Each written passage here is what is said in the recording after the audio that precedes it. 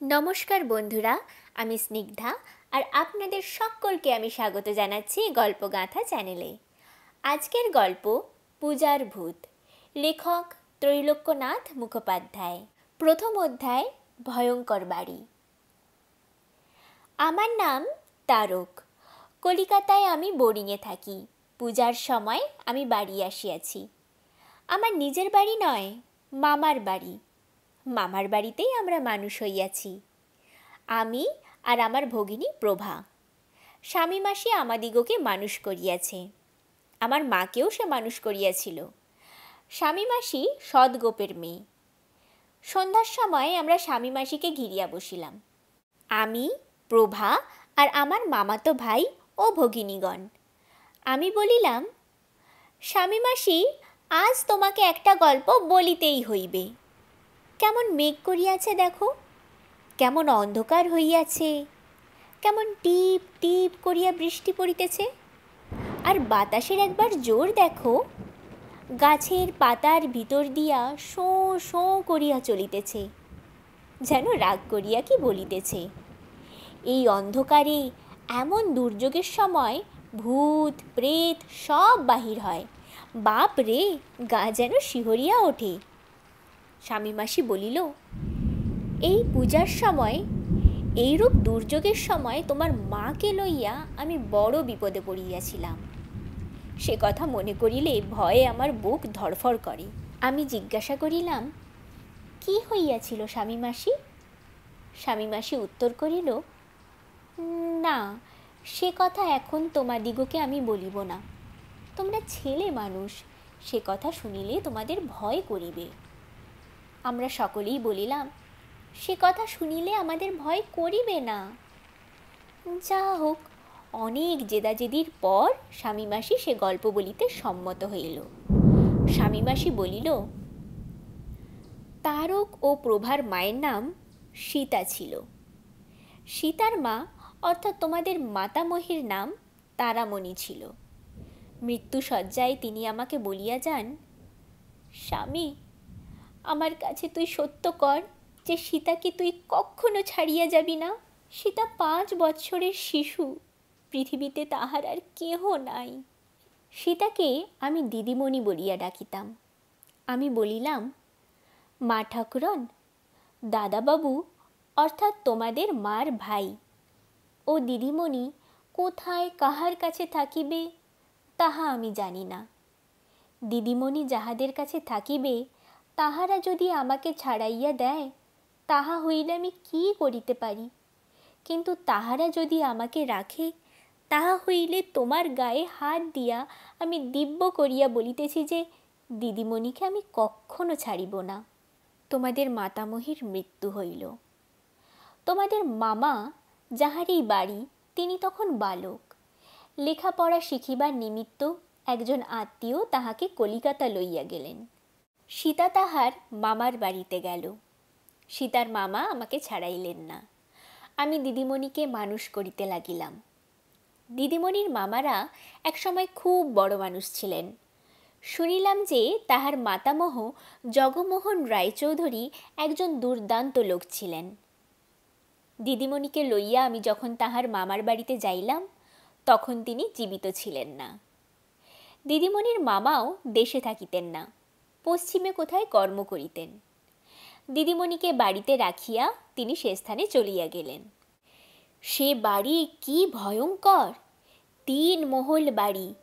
বাহির বাড়িতে, মাঝের বাড়িতে, ভিতর বাড়িতে, একতলায়, দোতলায় কত যে ঘর, তাহা গণিতে পারা যায় না।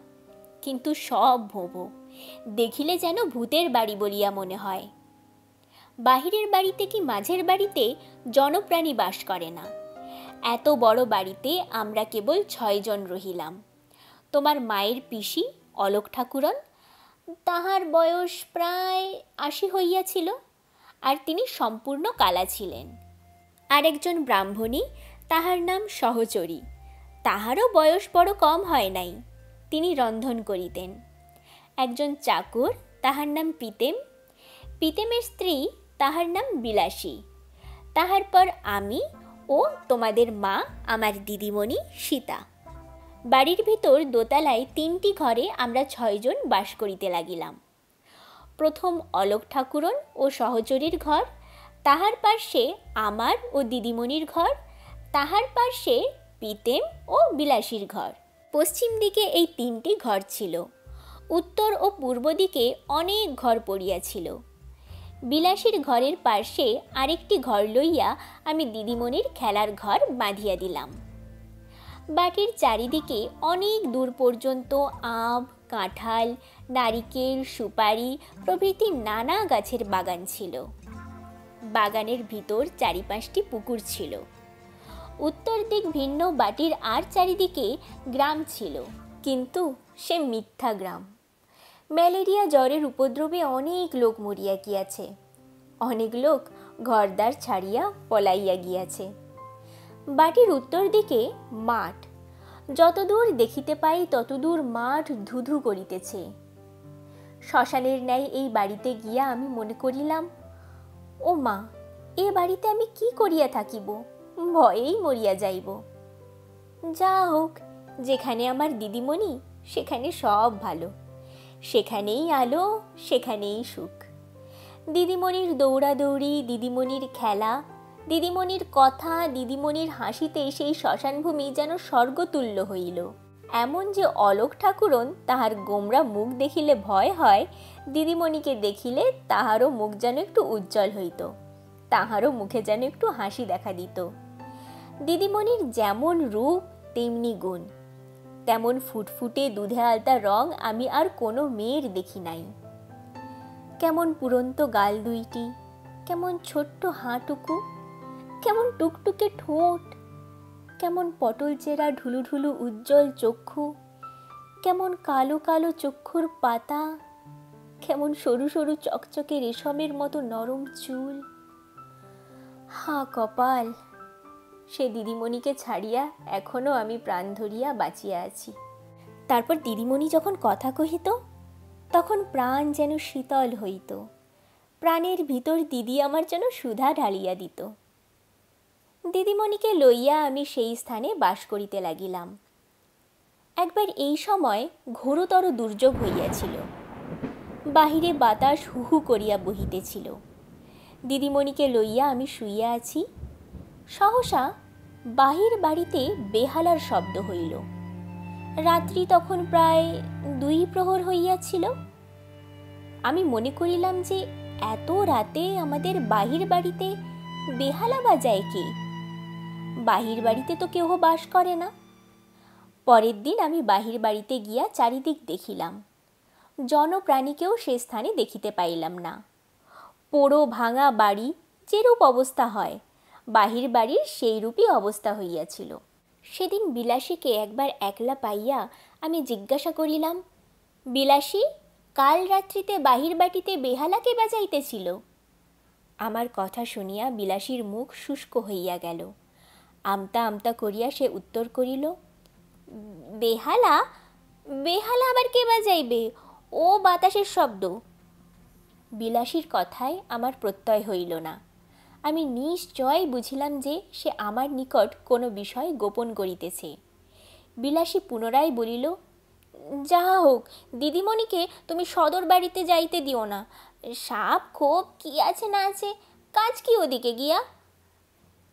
আরও কিছুদিন গত হইয়া গেল। একবার নয় আরও অনেকবার আমি সেই বেহালার শব্দ শুনিতে পাইলাম। যখনই রাত্রিকালে বাদলা ও দুর্যোগ হয় তখনই বাহির বাড়িতে কে যেন প্রাণপণে বেহালা বাজায়। কেবল বেহালা নয়, সে বৎসর পুজোর সময়, মহা অষ্টমীর রাত্রিতে বাহির বাড়িতে আমি শাঁখ ঘণ্টারও শব্দ শুনিয়াছিলাম, ধূপ ধুনার গন্ধও পাইয়াছিলাম।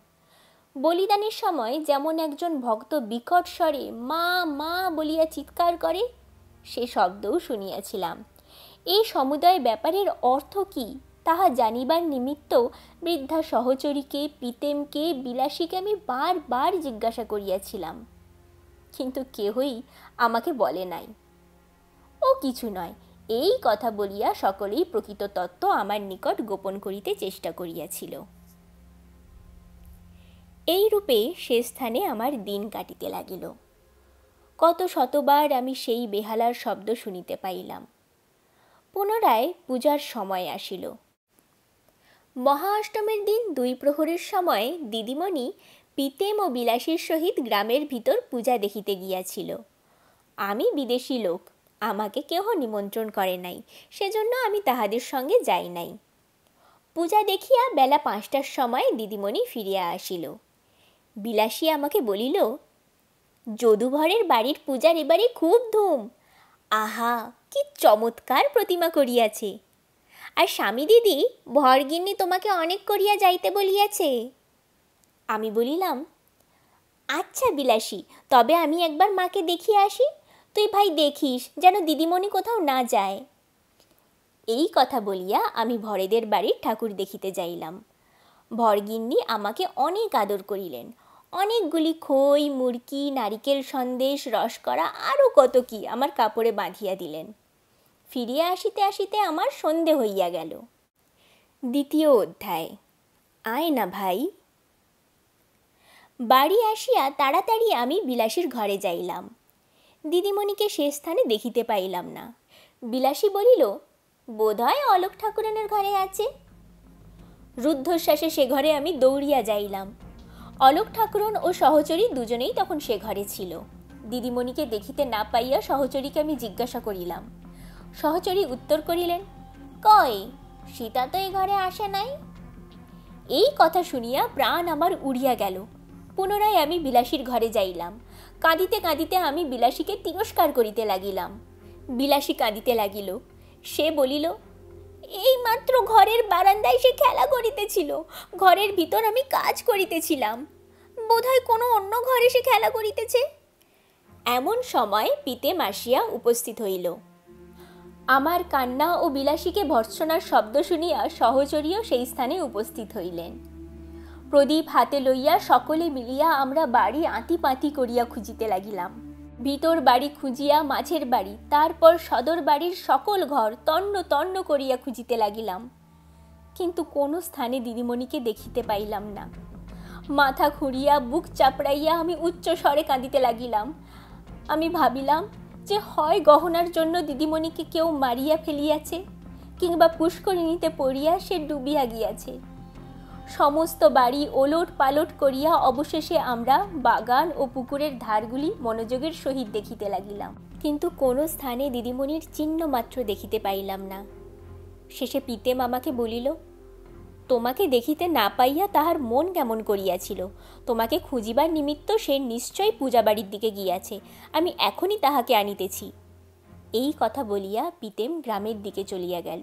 কিন্তু তা বলিয়া আমরা নিশ্চিন্তে থাকিতে পারিলাম না। পূর্বেই বলিয়াছি যে, আমাদের বাড়ি ও বাগানের উত্তর দিকে দূর পর্যন্ত মাঠ ছিল। দিদিমণিকে খুঁজিবার নিমিত্ত বিলাসী ও আমি সেই মাঠের দিকে যাইলাম। মেঘ করিয়াছিল খুব অন্ধকার হইয়াছিল। তাহার উপর এখন আবার বৃষ্টি পড়িতে আরম্ভ হইল।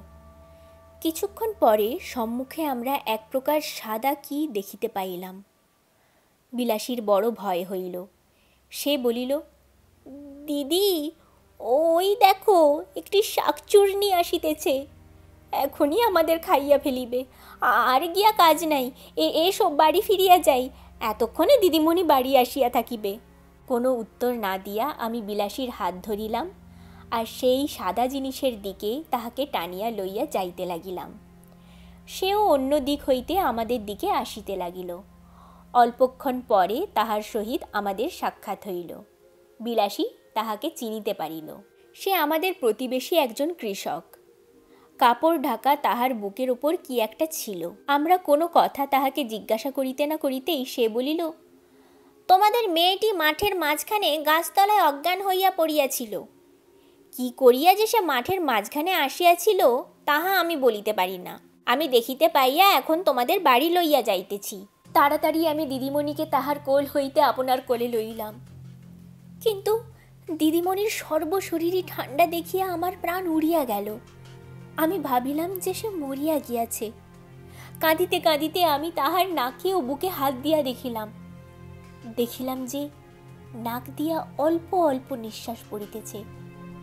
তাহার বুক অল্প অল্প ধুক ধুক করিতেছে।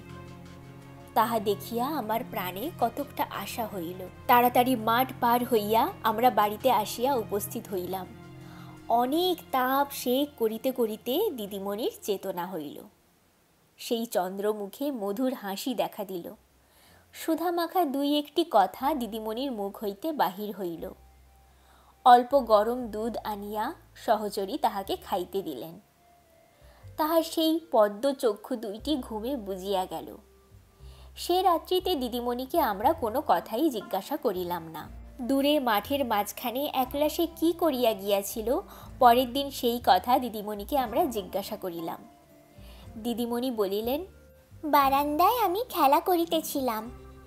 তাহার পর যে ঘরে আমার খেলাঘর আছে, আমি তাহার ভিতরে যাইলাম। সেই ঘরের জানালার ধারে যেই দাঁড়িয়াছি আর দেখি না ঠিক তাহার নিচেতে বাগানে একটি মেয়ে দাঁড়িয়া রহিয়াছে। মেয়েটি আমার মতোই বড়, কিন্তু খুব সুন্দর। উপরের দিকে আমার পানে চাহিয়া সে বলিল, সীতা, নেমে আয় না ভাই, আমরা দুজনে খেলা করি। আমি বলিলাম না ভাই, এখন আমি নিচে নামিতে পারিব না। সন্ধ্যা হইয়াছে, এখন নিচে নামিবার সময় নয়। বিলাসী আমাকে বকিবে, তাহার পর স্বামী মাসি আসিয়া আমাকে বকিবে। কাল সকালবেলা তুমি আসিও, দুজনে তখন অনেকক্ষণ খেলা করিব। মেয়েটি বলিল, এখনও তেমন সন্ধ্যা হয় নাই, এখনও অনেক আলো রহিয়াছে। এই দেখো আমার মাথা দিয়া রক্ত পড়িতেছে। তবুও দেখো আমি খেলা করিতেছি। আয় না ভাই, তবু আমি নামিলাম না। নিচে নামিতে মেয়েটি আমাকে বারবার বলিতে লাগিল। শেষে সে মাটির ওপরে বসিয়া পড়িল। বসিয়া হাপুস নয়নে কাঁদিতে লাগিল। আমি আর থাকিতে পারিলাম না। নিচে নামিয়া বাড়ির বাহির হইয়া আমি তাহার কাছে যাইলাম। কিছুক্ষণ বাগানের ভিতর আমরা দুইজনে খেলা করিলাম। এক স্থানে অনেকগুলি রজনীগন্ধা ফুল ফুটিয়াছিল, তাহা আমরা তুলিলাম। সাদা টগর ফুল ফুটিয়া আরেকটি গাছে আলো করিয়াছিল। নিচে হইতে যত পারিলাম সেই টগর ফুলও আমরা তুলিলাম। কেমন করিয়া জানি না, তাহার পর বাগান পার হইয়া আমরা মাঠে গিয়া উপস্থিত হইলাম।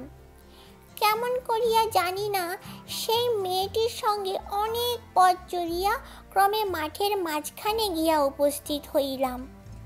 সে স্থানে একটি গাছ ছিল। সেই গাছতলায় একটি মেয়ে মানুষ বসিয়া কাঁদিতেছিল। আমার মাকে স্বপ্নের ন্যায় মনে পড়ে। সেই মেয়ে মানুষটি ঠিক আমার মায়ের মতো, সেই রকম রং সেই রকম মুখ, সেই রকম চুর আর সেই রকম কথা। আদর করিয়া তিনি আমাকে কোলে লইলেন। আমার মুখে তিনি কত চুমা খাইলেন। কোলে বসাইয়া আমার মাথায় তিনি হাত বুলাইতে লাগিলেন। তাহার পর কি হইল আমার আমার মনে নাই। তৃতীয় অধ্যায়, বালিকা ভূত। দিদিমণির এই কথা শুনিয়া সহচরী পিতেমকে চক্ষু টিপিলেন। তাহার পর তিনি বিলাসীর গা টিপিলেন। ইহার মানে আমি কিছুই বুঝিতে পারিলাম না। আমি জিজ্ঞাসা করিলাম, সে মেয়েটি কে? সে তো বড় দুষ্টু মেয়ে দেখিতেছি। তাহাকে আর বাগানে আসিতে দেওয়া যাইবে না। আমার কথার কোনো উত্তর না দিয়া সহচরী বলিলেন, এ বিষয়ে অলোক ঠাকুরনকে জানাইতে হইবে। তিনি যে রূপ বলেন, সেই রূপ করিতে হইবে। এই কথা বলিয়া সহচরী সে ঘর হইতে চলিয়া গেলেন। কিছুক্ষণ পরে তিনি আমাকে, পিতেমকে ও বিলাসীকে অলোক ঠাকুরনের ঘরে ডাকিতে পাঠাইলেন। দিদিমণিকে কোলে লইয়া আমি পিতেম ও বিলাসীর সঙ্গে সেই ঘরে যাইলাম। অলোক ঠাকুরন থুরথুরে বুড়ি হইয়াছিলেন। তিনি অধিক কথা বলিতে পারিতেন না। তাহার হইয়া সহচরী আমার দিকে চাহিয়া বলিলেন অলোক ঠাকুরন তোমাকে বলিতে বলিলেন যে, সে মেয়েটি মানুষ নহে। তাহার মা যাহাকে সীতা গাছতলায় দেখিয়াছিল, তিনি অলোক ঠাকুরনের ভাইঝি, সীতার মাসি। অনেক দিন হইল তিনি ও তাহার কন্যা অপঘাত মৃত্যুতে মরিয়া গিয়াছেন। তাহাদের গতি হয় নাই যখন তাহারা এইরূপ হইয়া আছেন। তাহারা সর্বদা, বিশেষত ঝড়, বাতাস বাদলার দিনে এই পূজার সময় বাড়ির চারিদিকে ঘুরিয়া বেড়ান।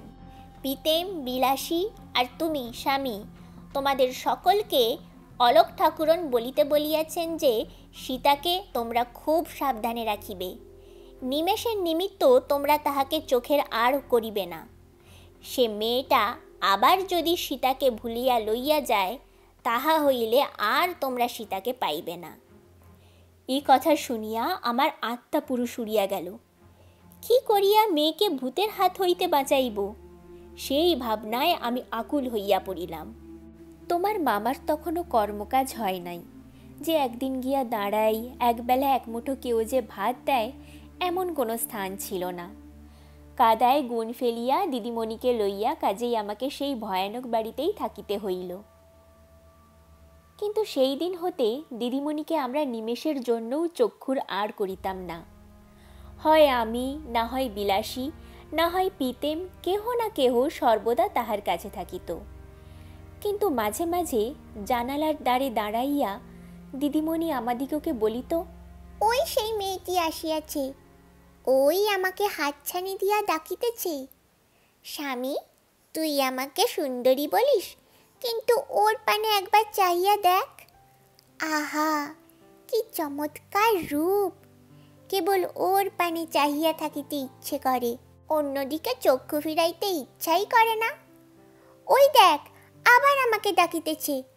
আমি যাইতেছি না বলিয়া, আহা, মেয়েটি ওই দেখ, কতই না কাঁদিতেছে। তাহার কাপড় সে আমাকে দেখাইতেছে। তাহার কাপড় ভিজিয়া গিয়াছে। টস টস করিয়া তাহার কাপড় হইতে জল পড়িতেছে। এ আবার কি? হাত দিয়া সে আপনার মাথা আমাকে দেখাইতেছে। আহা, মেয়েটির মাথায় কে মারিয়াছে মাথা হইতে গাল বাহিয়া রক্ত পড়িতেছে। স্বামী, একবার আমাকে ছাড়িয়া দে, আমি উহার কাছে যাই, উহাকে বাড়ির ভিতর ডাকিয়া আনি। তুই উহার মাথায় ওষুধ লাগিয়া দিবি। আমার ওই কাপড়খানি আমি উহাকে পরিতে দিব। যাই ভাই, যাই। এইরূপ বলিলে তাড়াতাড়ি আমি তোমার মাকে গিয়া কোলে লইতাম। উপর হইতে বাগানের দিকে আমি চাহিয়া দেখিতাম, কিন্তু আমি কিছু দেখিতে পাইতাম না। কি করিব? ঘরের দ্বার, জানলা বন্ধ করিয়া মেয়েকে কোলে লইয়া ভয়ে জড়সড় হইয়া আমি বসিয়া থাকিতাম। এই রূপে অতি কষ্টে আমরা সেই বাড়িতেই দিনপাত করিতে লাগিলাম। পুনরায় পূজার সময় আসিল। এই সময় দিদিমণি সেই মেয়েটাকে ঘন ঘন দেখিতে লাগিল। বাগানের দিকে জানলা এখন আমি সর্বদাই বন্ধ রাখিতাম। তথাপি দিদিমণি বলিত, স্বামী, জানালা খুলিয়া দে, মেয়েটি নিচে আসিয়াছে, সে আমাকে ডাকিতেছে। স্বামী, তোর পায়ে পড়ি, একবার জানালা খুলিয়া দে, একবার তাহাকে আমি দেখি। মহা অষ্টমীর দিন মেয়েকে লইয়া আমি বড়ই বিব্রত হইলাম। সেদিন ভয়ানক দুর্যোগ হইয়াছিল। সীতাকে কোলে লইয়া আমি ঘরে বসিয়াছিলাম। এখন আর বাহিরে নয়, সেদিন দিদিমণি সেই মেয়েটিকে বাড়ির ভিতরেই দেখিতে লাগিল। আমি দ্বার বন্ধ করিয়াছিলাম, তথাপি দিদিমণি বলিতে লাগিল, ও স্বামী, মেয়েটি আজ বাড়ির ভিতর আসিয়াছে। ঘরের বাহিরে আমাদের ঘরের নিকট দাঁড়াইয়া আছে। ছাড়িয়া দে, স্বামী। আমি একবার তাহার কাছে যাই। একবার তাহাকে না দেখিলে আমি মরিয়া যাইব। এই বলিয়া দিদিমণি হাপুস নয়নে কাঁদিতে লাগিল। কি যে করি তাহা আমি বুঝিতে পারিলাম না। মেয়ে লইয়া আমি অলোক ঠাকুরনের ঘরে যাইলাম। সে স্থানে সহচরী উপস্থিত ছিলেন। আমি বলিলাম, আজ বাছা আমাদের খাওয়া দাওয়াতে কাজ নেই। সকলে মিলিয়া এসো। আজ আমরা মেয়েকে ঘিরিয়া বসিয়া থাকি। তা না করিলে দিদিমণিকে আজ আমরা বাঁচাইতে পারিব না। সেই দুষ্টু মেয়েটা আসিয়া দিদিমণিকে নিশ্চয় লইয়া যাইবে। সহচরী অলোক ঠাকুরনকে সকল কথা বলিলেন। অলোক ঠাকুরন আমার কথায় সম্মত হইলেন। পিতেম ও বিলাসীকে ডাকিয়া দ্বার জানালা বন্ধ করিয়া দিদিমণিকে ঘিরিয়া সকলে আমরা অলোক ঠাকুরনের ঘরে বসিয়া রহিলাম। বলা বাহুল্য যে ইতিপূর্বেই এই বিড়ম্বনা নিবারণের জন্য অনেক প্রতিকার করা হইয়াছিল। গয়াতে পিণ্ড দেওয়া হইয়াছিল, শান্তি সস্তায়ন করা হইয়াছিল, রোজা আনিয়া ঝাড়ান ও ভূত নামানো হইয়াছিল, দিদিমণির অষ্টাঙ্গে কবজ, মাদুলি ও ন্যাকড়ার পুটুলি বাঁধা হইয়াছিল, কিন্তু কিছুতেই কিছু হয় নাই। চতুর্থ অধ্যায়, বিষম মহা অষ্টমী সকলে ঘিরিয়া রহিলাম বটে, কিন্তু সেই মহা অষ্টমীর সমস্ত দিন দিদিমণি বড়ই ছটফট করিয়াছিল। ওই সেই মেয়েটি আসিতেছে সে আমায় ডাকিতেছে। তাহার কাপড় ভিজিয়া গিয়াছে তাহার মাথা দিয়া রক্ত পড়িতেছে। দাও আমাকে ছাড়িয়া দাও আমি তাহার কাছে যাই। এই বলিয়া দিদিমণি বারবার কাঁদিতেছিল। আর আমার কোল হইতে উঠিয়া আমার হাত ছাড়াইয়া বারবার বাহিরে পালাইতে চেষ্টা করিতেছিল। অতি কষ্টে আমি তাহাকে ধরিয়া রাখিতেছিলাম। সন্ধ্যার পর দিদিমণি ঘুমাইয়া পড়িল। আমি ভাবিলাম যে এইবার বুঝি আমাদের বিপদ কাটিয়া গেল। আর বুঝি কোনো উপদ্রব হইবে না। কিন্তু আমরা কেহ নিদ্রা যাইলাম না। ঘরে দুইটা আলো জ্বালাইয়া সকলে জাগিয়া বসিয়া রহিলাম। রাত্রি প্রায় দুই প্রহর হইয়াছে। এমন সময় সহসা বাহির বাটিতে সেই বেহালা বাজিয়া উঠিল। কেবল বেহালা নয়, তার সঙ্গে ঢাক, ঢোল, শাঁখ, ঘণ্টা, কাঁসর ঘড়িও বাজিয়া উঠিল। সেই সকল বাজনা ছাপাইয়া বলিদানের সেই ভয়ানক মা মা চিৎকার আমাদের যেন কানে তালা লাগিতে লাগিল। আতঙ্কে আমাদের প্রাণ শিহরিয়া উঠিল। ভয়ে আমাদের শরীর রোমাঞ্চ হইয়া উঠিল। হতভম্ব হইয়া আমরা বসিয়া আছি। এমন সময় ধড়মড় করিয়া দিদিমণি উঠিয়া বসিল। আমরা কিছু বলিতে না বলিতেই চোঁত করিয়া সে দ্বারের নিকট গিয়া খিল খুলিয়া ফেলিল। তাহার পর আমরা তাহাকে ধরিতে না ধরিতে রুদ্ধশ্বাসে বাহির বাড়ির পূজার দালানের দিকে সে দৌড়াইল। ও মা, কি হইল? সর্বনাশ হইল? এই কথা বলিতে বলিতে অলোক ঠাকুরন ছাড়া আর সকলেই আমরা তাহার পশ্চাৎ পশ্চাৎ দৌড়াইলাম। কিন্তু তাহাকে ধরিতে পারিলাম না। দিদিমণি আমাদের আগে আগে গিয়া বাহির বাড়ির পূজার দালানে গিয়া উপস্থিত হইল। সে স্থানের অদ্ভুত ব্যাপার দেখিয়া আমরা জ্ঞানহারা হইলাম। এখন আর সে ভাঙা জনশূন্য বাড়ি নাই। খুব ধুমধামের দুর্গোৎসব হইলে যেরূপ হয়, সে স্থানে এখন সেই রূপ হইয়াছে। দালানের মাঝখানে প্রতিমা রহিয়াছে, বৃহৎ প্রতিমা, নানা সাজে সুসজ্জিত। প্রতিমার চারিদিকে নৈবেদ্য প্রভৃতি পূজার আয়োজন রহিয়াছে। সম্মুখে পুরোহিতগণ বসিয়া আছেন। এক পার্শ্বে একজন চণ্ডীপাঠ করিতেছেন। সম্মুখের প্রাঙ্গণ লোকে লোকারণ্য হইয়াছে। ধূপ ধুনার গন্ধে চারিদিকে আমোদিত হইয়াছে। দালানে, উঠানে, সকল স্থানে ঝাড় লণ্ঠন জ্বলিতেছে। ফলকথা, এমন ধুমধাম পুজো আমি কখনো দেখি নাই। দিদিমণি কাহারও প্রতি ভ্রুক্ষেপ না করিয়া দালান পার হইয়া দালানের পূর্ব দিকে চলিয়া গেল। ভয়ে কাঁপিতে কাঁপিতে আমরাও তাহার পশ্চাৎ পশ্চাৎ চলিলাম। দালানের পূর্ব দিকে একটি ঘর ছিল। সেই ঘরের ভিতর তক্তপোষের ওপর একজন বৃদ্ধ বসিয়াছিলেন। তাহার বাম হাতে বেহালা আর তাহার দক্ষিণ হাতে যা দিয়ে বাজায় তাই ছিল। একটি পরমা সুন্দরী স্ত্রীলোক মাটিতে বসিয়া বৃদ্ধের পা দুখানি ধরিয়া কি বলিতেছেন? সেই স্ত্রীলোকের পার্শ্বে সাত আট বৎসরের এক বালিকা দাঁড়াইয়াছিল। দিদিমণি বরাবর গিয়া সেই ঘরের দ্বারে এক পার্শ্বে দাঁড়াইল। খপ করিয়া আমি গিয়া দিদিমণির হাত ধরিয়া ফেলিলাম। তাহার পর আমরা সকলেই সেই দ্বারের নিকট দাঁড়াইয়া রহিলাম। যে স্ত্রীলোক বৃদ্ধের পা ধরিয়াছিলেন তিনি এখন কাঁদো কাঁদো মৃদু মধুর স্বরে বলিলেন, বাবা, অপরাধ করিয়াছি সত্য, কিন্তু আমি তোমার কন্যা। শত অপরাধ করিলেও কন্যাকে ক্ষমা করিতে হয়। এই মেয়েটিকে লইয়া আমি এখন কোথায় যাই? বৃদ্ধ অতি নিষ্ঠুর ভাষায় বলিলেন, আমি প্রতিজ্ঞা করিয়াছি যে তোর মুখ আমি দেখিব না। কালা মুখ লইয়া এ বাড়ি হইতে এখনই দূর হইয়া যা। স্ত্রীলোক উত্তর করিলেন, বাবা, আমি কোনরূপ দুষ্কর্ম করি নাই। স্বামীর ঘরে গিয়াছি এই মাত্র বৃদ্ধ বলিলেন, তুই দূর হ, আমার সম্মুখ হতে দূর হ।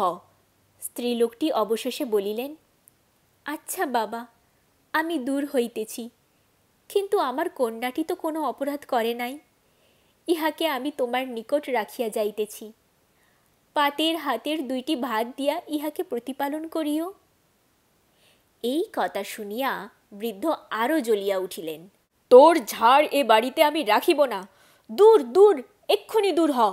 স্ত্রীলোক ও তাহার কন্যা সত্তর দূর হইতেছে না, তাহা দেখিয়া বৃদ্ধ রাগে অন্ধ হইয়া পড়িলেন।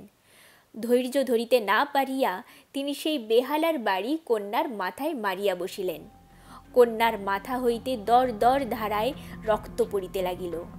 গাল বাহিয়া সেই রক্ত মাটিতে পড়িল।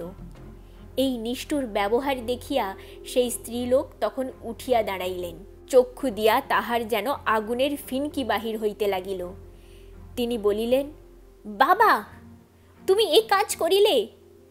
যাহা হোক, আমি তোমাকে কিছু বলিব না, কিন্তু আজ হইতে তোমার লক্ষ্মী ছাড়িল। এই কথা বলিয়া মেয়েটির হাত ধরিয়া স্ত্রীলোক সেই ঘর হইতে বাহির হইলেন। তাহার পর দালানের ভিতর দিয়া উঠানে গিয়া নামিলেন। তাহার পর উঠান পার হইয়া বাড়ির বাহিরে চলিয়া গেলেন। যেই তিনি বাড়ির বাহির হইলেন আর বৃদ্ধ ভয়ানক চিৎকার করিয়া সেই তক্তপশের উপর শুইয়া পড়িলেন। সেই সময় ঝাড় লণ্ঠন সব নিভিয়া গেল। প্রতিমা, পুরোহিত, লোকজন সব অদৃশ্য হইয়া পড়িল। ঢাক, ঢোলের কলরব সব থামিয়া গেল। অন্ধকারে আমি পিতেমের কথা শুনতে পাইলাম। পিতেম বলিল, স্বামী, সীতা তোমার কাছে আছে? আমি উত্তর করিলাম হ্যাঁ আমি তাহাকে ধরিয়া আছি। পিতেম পুনরায় বলিল, তবে চলো, ঘরে চলো। পঞ্চম অধ্যায় পূর্ব বিবরণ। সকলে পুনরায় অলোক ঠাকুরনের ঘরে যাইলাম। সীতা তৎক্ষণাৎ ঘুমাইয়া পড়িল। সে রাত্রিতে আর কোনো উপদ্রব হইল না। কিন্তু সে রাত্রিতে আমাদের নিদ্রা হইল না। আমরা সকলে বসিয়া রহিলাম। পিতেম তখন আমাকে সকল কথা বলিল। পিতেম বলিল, ওই যে বৃদ্ধ দেখিলে, উনি বাড়ির কর্তা ছিলেন। উহার নাম জগমোহন রায়চৌধুরী ছিল। উনি বড় দুর্দান্ত লোক ছিলেন। একবার যাহা বলিতেন, তাহাই করিতেন। তা সে ভালোই হোক বা মন্দই হোক, পৃথিবীতে তাহার কেবল একটি শখ ছিল। বেহালা বাজাইতে তিনি বড় ভালোবাসিতেন। সময় নাই, অসময় নাই, সর্বদাই তিনি বেহালা বাজাইতেন। বিশেষত ঝড়, বাতাস বাদলার রাত্রিতে তাহার শখটি কিছু প্রবল হইত। অলোক ঠাকুরন তাহার ভগিনী। জগমোহন রায়ের এক পুত্র ও দুই কন্যা ছিল। পুত্র সীতার মামা, যিনি এখন পশ্চিমে কাজ করেন। বড় কন্যার নাম ছিল রামমণি, যাহার ভূতকে সীতা মাঠের মাঝখানে গাছতলায় দেখিয়াছিল। ছোট মেয়ের নাম ছিল তারামণি, তিনি সীতার মা। রায়চৌধুরী বড় মানুষ লোক। কোনো পুরুষে কন্যা শ্বশুরবাড়ি পাঠাইতেন না। কিন্তু রামমণির এক তেজস্বী পুরুষের সহিত বিবাহ হইয়াছিল। তিনি বলিলেন যে, ঘর জামাই হইয়া আমি কিছুতেই থাকিব না। আপনার স্ত্রীকে তিনি নিজের বাড়িতে লইয়া যাইতে চাহিলেন, কিন্তু কর্তা কিছুতেই সম্মত হইলেন না। শ্বশুর জামাতায় ঘোর বাদ বিসম্বাদ বাঁধিয়া গেল। অবশেষে কর্তা একদিন রামমণিকে ডাকিয়া জামাতার সমক্ষে জিজ্ঞাসা করিলেন তুমি ইহাকে চাও না আমাকে চাও? রামমণি উত্তর করিলেন, বাবা, তুমি পিতা বটে, কিন্তু স্ত্রীলোকের পতিই সর্বস্ব। এই উত্তর শুনিয়া কর্তা ঘোরতর রাগিয়া উঠিলেন। তিনি বলিলেন, বটে, তবে এখনই আমার বাড়ি হইতে দূর হও। আমি প্রতিজ্ঞা করিতেছি যে আজ হইতে আমি তোমার মুখ দেখিব না। রামমণি শ্বশুরালয়ে গমন করিলেন। নয় দশ বৎসর স্বামীর ঘর করিলেন। তাহার একটি কন্যা হইল। সে কন্যাটির ভূত সীতাকে মাঠে লইয়া গিয়াছিল। নয় দশ বৎসর পরে রামমণির স্বামীর মৃত্যু হইল। পরিবার প্রতিপালনের নিমিত্ত তিনি একটি পয়সাও রাখিয়া যান নাই। রামমণি ঘোর বিপদে পড়িলেন। পিতাকে কয়েকখানি পত্র লিখিলেন। পিতা কোনো উত্তর দিলেন না। অবশেষে ভাবিলেন পূজার সময় লোকের মন নরম হয়। এই পূজার সময় বাবার পায়ে গিয়া পড়ি, তাহা হইলে তিনি বোধহয় ক্ষমা করিবেন। পূজার সময় কন্যাকে লইয়া রামমণি পিতার বাটিতে আসিলেন। তাহার পর তোমরা এইমাত্র যাহা দেখিলে। অষ্টমীর দিন সত্য সত্যই সেই সমুদয় ঘটনা ঘটিয়াছিল। কন্যার হাত ধরিয়া রামমণি চলিয়া গেলেন। পক্ষাঘাত রোগ হইয়া কর্তা তৎক্ষণাৎ মূর্ছিত হইয়া পড়িলেন। অল্পক্ষণ পরে তুমুল ঝড় উঠিল।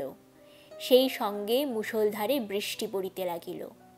পরদিন সকলে দেখিল যে রামমণি ও তাহার কন্যা দুজনেই মাঠের মাঝখানে গাছতলায় মরিয়া পড়িয়া আছেন।